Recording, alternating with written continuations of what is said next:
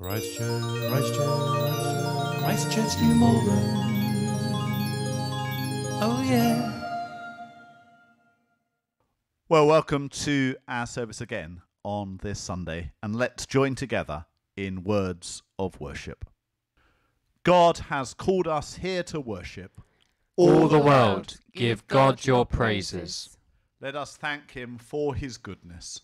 All the world give God your praises. Let us ask Him to forgive us. All the world give God your praises. Let us learn what He would teach us. All the world give God your praises. Let us bring our prayers before Him. All the world give God your praises. Shout for joy to the God who loves us. Glory to the Father, and to the Son, and to the Holy Spirit, as it was in the beginning, is now, and shall be forever. Amen. Well, our first hymn is Bless the Lord, O my soul, and it's a song in which we pledge to keep faithful to God, whatever the circumstances.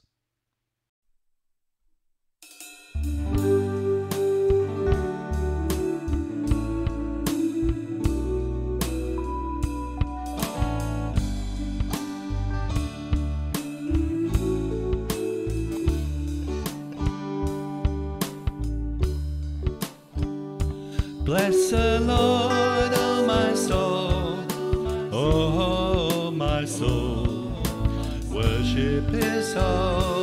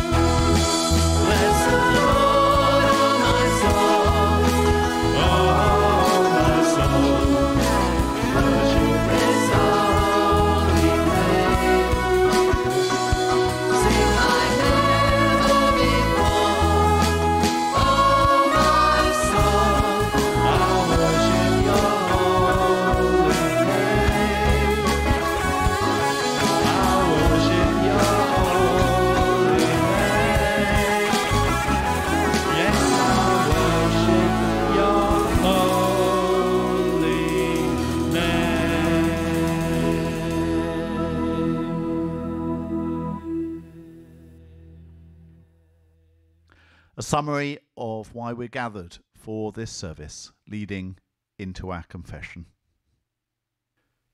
We come together in the name of Christ to offer our praise and thanksgiving, to hear and receive God's holy word, to pray for the needs of the world, and to seek the forgiveness of our sins, that by the power of the Holy Spirit we may give ourselves to the service of God.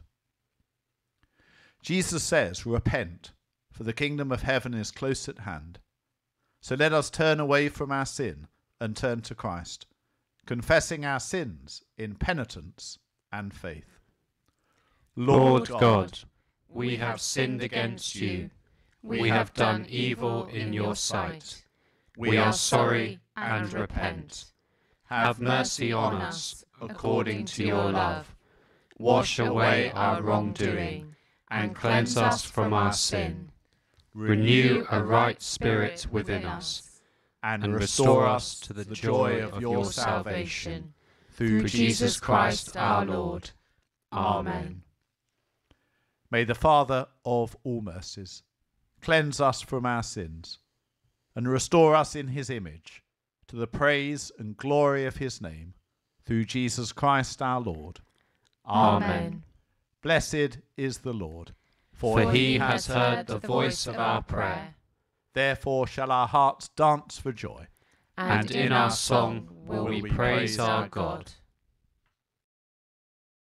Well, the reason that we can receive that forgiveness from God is because of what Jesus did when he died for us on the cross.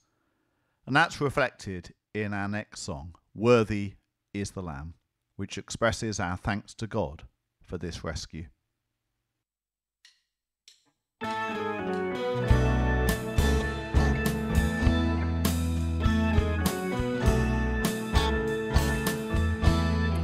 Thank you for the cross, Lord. Thank you for the price you paid, bearing all my sin and shame. In love you came and gave you for this love, Lord. Thank you for the nail pierced hands. Wash me in your cleansing flow. Now all I know, forgiveness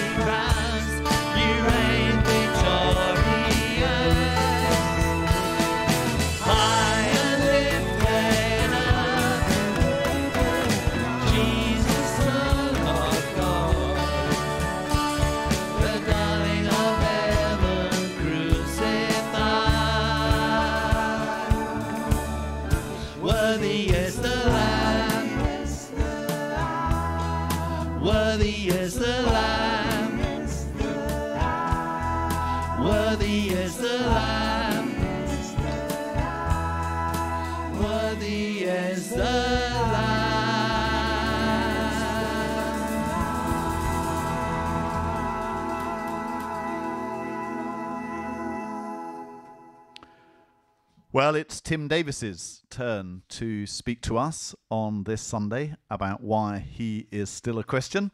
And uh, Tim has chosen a couple of Bible readings, and they're going to be read to us now. The first one comes from Katie Loffman.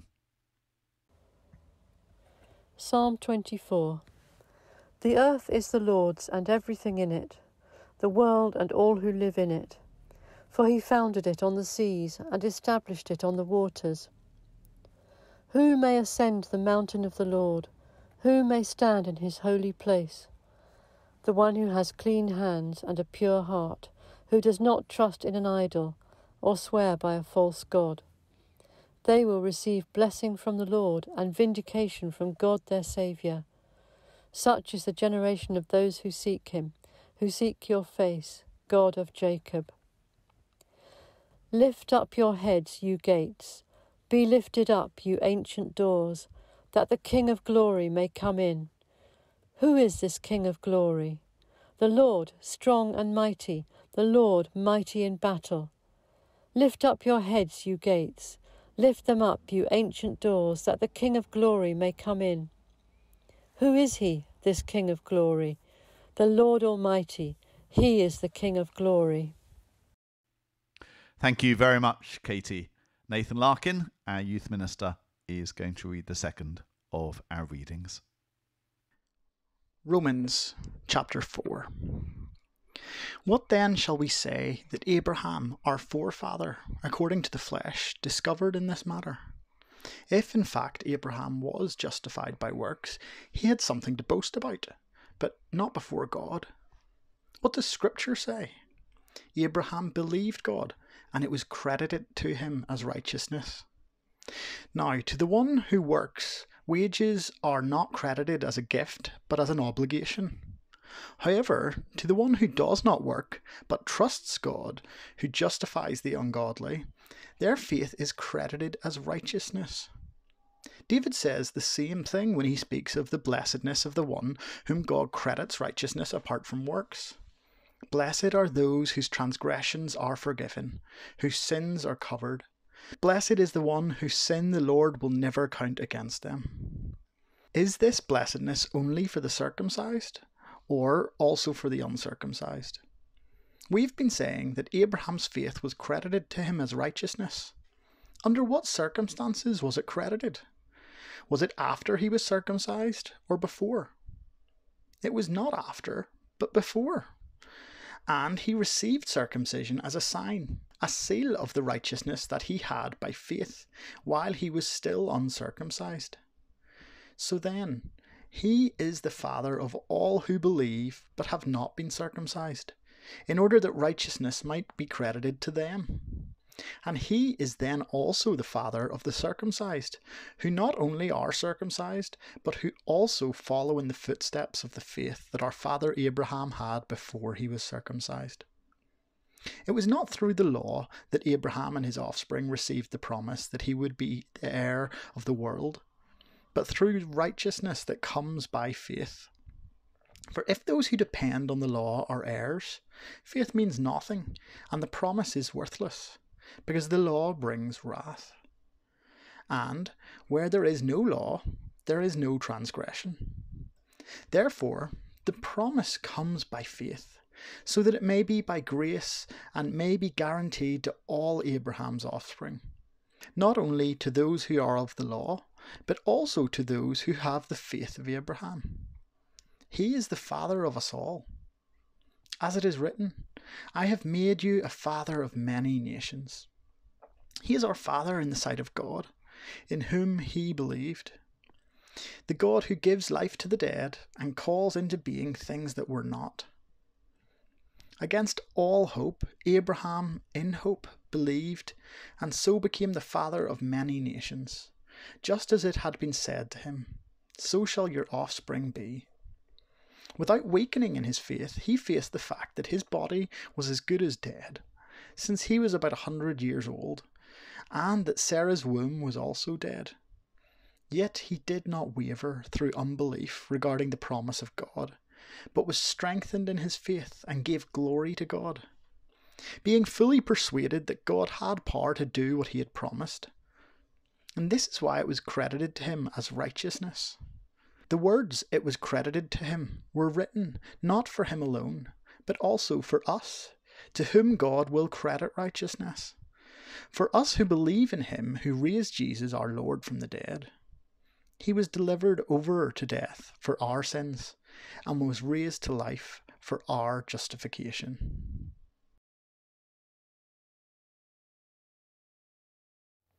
Why I am still a Christian. Why do I feel like I've done this before? Uh, perhaps it's because I've delivered a Why I Am a Christian talk twice at Christ Church, and the second time I made the point that the talk should probably be entitled Why I Am Still a Christian, but I didn't really change much at all of my first talk that second time around. And I guess it was because if I had to think about it then, the sermon would probably be a fairly brief five word talk. Why I am still a Christian? I don't know, just am. Not the most inspiring talk, agreed. So I decided I'd take the approach I used to my Why I Am Christian talk and to find out why I am still a Christian, change the wording and ask myself the question why am I still a Christian? I still don't know. I just am.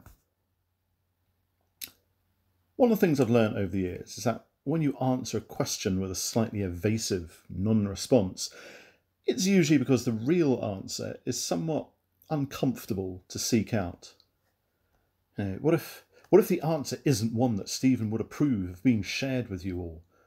Am I just going through the motions? Have I been ignoring everything around me, not questioning my faith? Because, you know, when you stop and think about it, everything's going wrong in the world. Everything's everything's rubbish. I have to I have to work at home and I don't get out and see people. My holiday's been cancelled. I'm feeling stressed and ill and lethargic and my couch to 5k plans at the start of lockdown never got beyond week three and there's so much bad stuff going on in the world that I can't stand to hear about it anymore. And God really doesn't seem to be doing anything about it. And he certainly doesn't seem to be a massive presence in my life right now. And if I'm perfectly honest, the stress of constantly trying to do good Christian things is getting too much. And I wonder if I feel I'd be better off just forgetting it all. And so I can't help but ask myself myself, why am I still a Christian?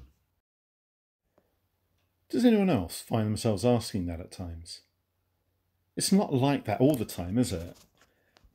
But sometimes being a Christian is not something I find easy. I can find myself caught between days of it being the best thing in the world and times when it's a source of just angst and stress. But as I've thought more on this, I've found myself actually really appreciating why I still am a Christian. And also realised that two members of our church, John and Helen Cook, have something to do with it as well. Psalm 24 is my favourite of the Psalms. It's a hymn of praise to God that tells a story, our story. And I like it because it's short, straightforward, but also challenging story. Everything you need to know is contained within it. I'm just going to focus on the first few verses, really. The earth is the Lord's and everything in it, the world and all who live in it, for he founded it upon the seas and established it upon the waters. God made us. God created the world and set in motion everything that would lead to our creation and the creation of everything that is to come. God created us. We owe him honour and respect, and yet being in a position to give him this presents us with a problem. Who may ascend the hill of the Lord? Who may stand in his holy place? Me? You? He who has clean hands and a pure heart who does not lift up his soul to an idol or swear by what is false. Can any of us claim to have pure hearts, never devoting our attention to other things when we should have been devoted to God alone? To describe ourselves as pure of heart is hard, if we're really honest. And it certainly feels that way to me a lot of the time. This acknowledgement that I'm not pure of heart with clean hands is difficult. I've often given myself a hard time and wrestled with this. Am I a Christian? Yes. Do I think I am worthy to ascend the hill of the Lord? I guess so. If I was to truly allow God to examine my heart and mind, to open myself up to a real, honest, no secrets are hidden examination of myself, and see an account of what I've done wrong, just this past week, let alone my lifetime, would I meet the criteria? Because I don't think regular use of hand sanitizer counts for the clean hands bit. And right there, in that moment, I find myself thinking back to my second year of secondary school. John Cook was my second year form master when I was at school, and he also taught me history for the first two years at secondary school. And it was in his history lessons that I first learnt about the Reformation and Martin Luther. Now, 30 odd years later, I don't remember much from my history lessons. Sorry, John. Uh, but I always remembered learning about how much Martin Luther struggled with this same idea, and particularly the righteousness of God. For Luther, he understood God as the only truly righteous concept. And if God was righteous, then he would punish the unjust and the sinners. But you know, what about the Christians, the good guys? Luther was a monk. He devoted his life to living a pure and holy life. And yet he knew that if God were to examine his heart and mind, then he too would be punished by a righteous God. Because he knew that in contrast to God, he, Martin Luther, was still just a sinner. And I can identify with that so much of the time. I, I want to be able to say, Look, God, I'm doing all these things for you. I'm living my life as a Christian. Is this okay? Is this enough? And when I do that, I know deep down that it's not. My hands are not clean. My heart is not pure. And I can start to beat myself up internally about it all. Luther did the same thing until he started to really study and understand Paul's letter to the Romans, in particular, one and a half verse, verses from Romans chapter 3. But now, apart from the law, the righteousness of God has been made known, to which the law and the prophets testify. This righteousness is given through faith in Jesus Christ to all who believe. Luther had been so focused on the law and doing good, continuous acts that would still never be sufficient to make him righteous before God. But after years of much prayer, meditation, and struggle, Luther finally discovered the true meaning of God's word. Then finally, God had mercy on me, and I began to understand that the righteousness of God is a gift of God by which a righteous man lives, namely faith. And that sentence, the righteousness of God is revealed in the gospel, is passive, indicating that the merciful God justifies us by faith. As it is written, the righteous shall live by faith. Now I felt as though I had been reborn altogether and had entered paradise. It's not about what we do. It's it's never been about that exclusively. It's it's about God. I can't make myself righteous before God. I can't ascend the hill of the Lord with clean hands and a pure pure heart through any endeavours of my own. But I will because my righteousness is a gift from God. I am made righteous through the death of Jesus Christ, taking my punishment for sin, making me clean and pure and righteous, and it came as a gift from God. Who may ascend the mountain of the Lord? Who may stand in his holy place? The one who has clean hands and a pure heart who does not trust in an idol or swear by a false god. They will receive blessing from the Lord and vindication from God their Saviour. Such is the generation of those who seek him, who seek your face, God of Jacob. I receive the blessing from God, my Saviour. And it's God, my Saviour, with his gift to me, to all of us, of forgiveness and salvation and grace and righteousness that enables me, all of us, to be welcomed into his presence. I'm still a Christian because when I find myself beating myself up about not being a good person, I then remember that I've been given the greatest gift possible, the impossible made possible forgiveness of sins. And all I had to do was say sorry. Why would I turn away from that? In the next chapter of Romans, which we heard read a moment ago, Paul goes on to explain to the readers that it's all about faith. Unless you believe in Jesus Christ, then you have nothing because you cannot receive salvation through your own works. And he cites Abraham as an example of someone who, despite his incredible life and actions, becoming the father of all nations, was justified and made righteous not by his works, but by his faith. And he's an inspiration and encouragement to me because it's really important to why I still am a Christian. That I understand that my life is not mine to know in full already. Abraham lived a long life. He had obeyed God. He travelled far and wide. He had to wait until he was 100 before having the son he so longed for. And there was still so much more to come for him.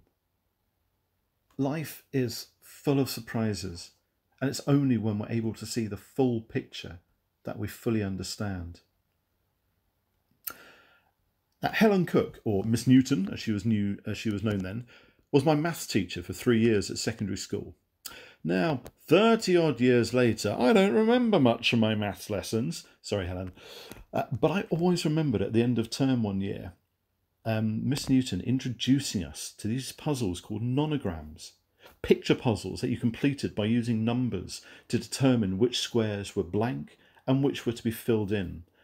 And I really enjoyed doing these puzzles, these grids that Miss Newton had photocopied from a newspaper.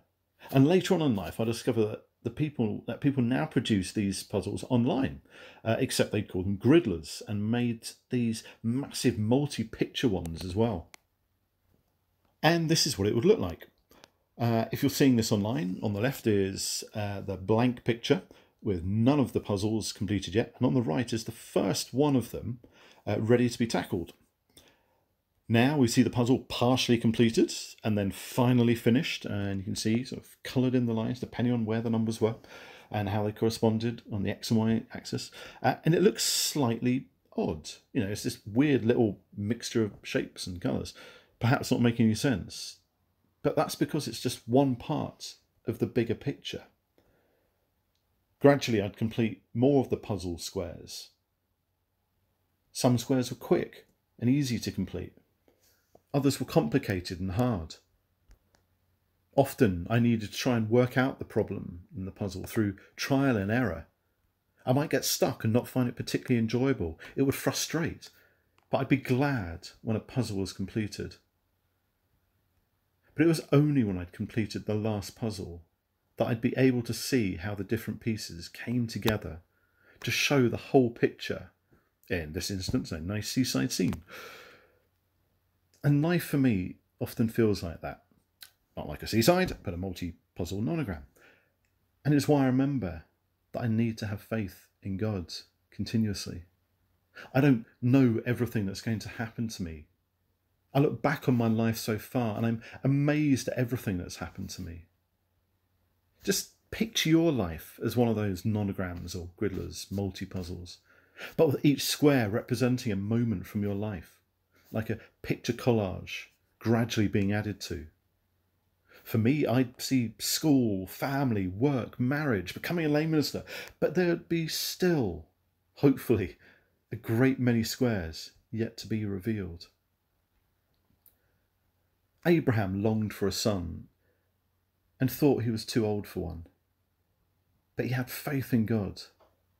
And it was only when he could look back on his whole life that he could see just how amazing it was, including being a father, and that his was a life lived by faith rather than by what he thought he could accomplish on his own. But at the end of it, it was still all about what God had promised him was still to come than what he had experienced in his rich, long life. And that is an encouragement to me in my faith, and part of the reason why I am still a Christian. I see the great picture developing before me, and yet I'm excited by what's still to come. And I know that I'm only fully going to understand it all at the end. I am still a Christian, but not because of what I think God has done in my life. You know, there was no deal made that if He provided me with A, B, or C, or helped me with X, Y, or Z, that I would in turn remain a Christian. No, I'm still a Christian because of the one time deal that God set up for me nearly 2,000 years before I was born. I'm a Christian because of a gift from God. His forgiveness, His grace, His salvation, His righteousness that He has then bestowed on me and you, giving us clean hands and pure hearts once again, so that we can live by faith in Him, assured of eternity to come. Well, thank you so much, uh, Tim, uh, for speaking to us uh, on this Sunday about why you're still a Christian. And thanks also uh, for everything that you uh, do for Christ Church through your ministry and, of course, that of the other readers, uh, Katie and Becky, as well. Becky Mills is now going to lead us in our prayers. Lord God, we thank you that through Jesus' death and resurrection, you displayed your covenant faithfulness to all of humanity and to all of creation. We thank you that through the faithfulness of Jesus, his faithful life, and his obedient death, we've been rescued, restored, forgiven. We thank you with all our hearts that when we confess with our lips that Jesus Christ is Lord and believe that you raised him from the dead, we're radically redefined and transformed. Your gift is that we're your renewed people, and through us, you will be putting your world to rights, and we will reign with Jesus in the kingdom of God. Though we are frail and feel like we fail constantly, help us never to forget what we've been saved for. Give us the grace to live a life of loyalty and faithfulness as demonstrated by Jesus. Loving God, we pray for our world as we move through more loss of life, more recoveries, and more challenging conversations around COVID 19. This week, we remember particularly those working with coronavirus in the UK, India, the United States, Brazil, Russia, and South Africa. Teach us how to live and move and have our being as your people bound up with each other and wholly dependent upon you. Reveal your loving presence to those who are grieving or anxious in social isolation. Guide each of us towards a fuller understanding of this disease and our interdependence with all of creation. Lord God, we pray that all our actions to combat climate change and care for your world earlier on in the year will not be forgotten and that we'll continue to act wisely and responsibly to preserve the beauty of the natural world and the vast and delicate balance of your ecosystem. Help us to be constantly aware of our own carbon footprint and ways of minimizing it. Inspire us to refuse non essential flights, reduce our personal fuel use, and rethink all our options for remote working. Keep that vision of a new heaven and new earth before us, and our calling to be agents of your magnificent and amazing renewal of the created order. This week we pray for those in Belarus, Hong Kong. We thank you for those who have courageously opposed autocratic rule, corruption and poverty, lack of opportunity and low pay. Bring hope to the people there who are victims of political oppression and imprudent governance. We pray that you would teach all to walk the path of justice with wisdom and compassion. We pray for Beirut, Lebanon, and all Lebanese people as their communities are convulsed by the after effects of the ammonium nitrate explosion, changing the lives of families and individuals forever. Hold the people close to you through their devastation. Guide all government action through this terrible catastrophe. Bind up the broken-hearted and give strength to the rescue workers. Lord, in your mercy, hear our prayer. In all these things, we are so aware that we're finite creatures dependent on your sovereign goodness. In all these moments, we place ourselves back into your arms of mercy and grace. Show us how to delight in what is good, to confront what is evil, to heal what is damaging. Give to us a discerning strength to move into the next moment, the next day, the next act of compassion and courage. We remember all those who are ill at Christ Church. We thank you that Frank Dobson's shingles are improving, but we pray that the cause of his constant feelings of sickness will be identified and properly treated. We remember Valerie Perry in hospital and pray that some light might be shed on the reasons for her falls that she's experiencing of late.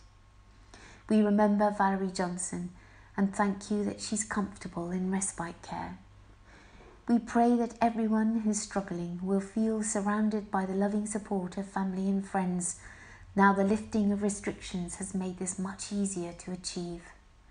Lord, in your mercy, hear our prayers. Through Jesus Christ, our Lord and Saviour, ruler of the world. Amen. Let's say the Lord's Prayer together. Our Father in heaven, hallowed be your name. Your kingdom come, your will be done on earth as it is in heaven. Give us today our daily bread. Forgive us our sins as we forgive those who sin against us. Lead us not into temptation, but deliver us from evil. For the kingdom, the power, and the glory are yours, now and forever. Amen.